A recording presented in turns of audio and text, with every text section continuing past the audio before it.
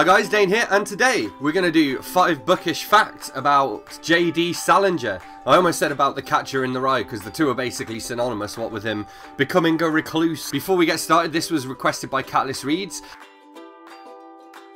And if you have a request of your own for a future episode, let me know in the comments and I will get to as many of them as I can. And on that note, let's go!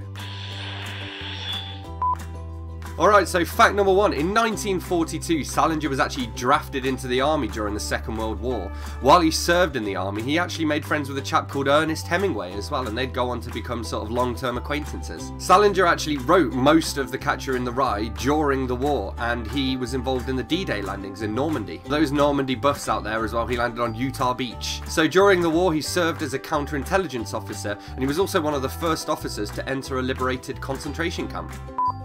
So fact number two, sometimes he was nice, sometimes he wasn't, and he actually wrote a note to his maid once. I'm going to have to read this out. He said, Dear Mary, please make sure all the errands are done before you go on vacation, as I do not want to be bothered with insignificant things. Thank you, J.D. Salinger.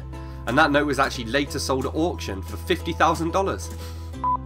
To fact number three, he had a biographer, and I believe he later sued his biographer as well. So I don't know how true we can take this, because this is, according to his biographer, he had a pickup line, and that pickup line was, Hi, I'm JD Salinger. I wrote The Catcher in the Rye. So fact number four, The Catcher in the Rye has actually been specifically linked to three kind of big world events. So the first one was the assassination of John Lennon, and the murderer there, Mark Chapman, was obsessed with Holden Caulfield and kind of saw himself as, you know, the reborn Caulfield, and his job was to end the phony John Lennon. When he was found by the police, he was actually flicking through his copy of the book, and he later said that the book was his statement and explained why he killed John Lennon.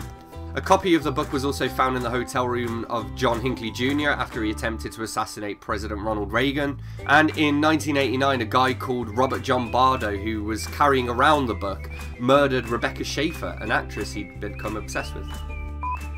So fact number five, and possibly my favourite, is that because Salinger lived to the ripe old age of 91, many of his obituaries had been prepared in advance, and The Guardian's obituary uh, was written by a guy called Mark Krupnick, who'd actually died seven years before Salinger. So anyway, that's it for this episode, so thanks a lot for watching, be sure to leave a like if you enjoyed this video, let me know in the comments who you would like to see a future episode on, and I will see you soon for more bookish videos, thanks a lot, bye bye.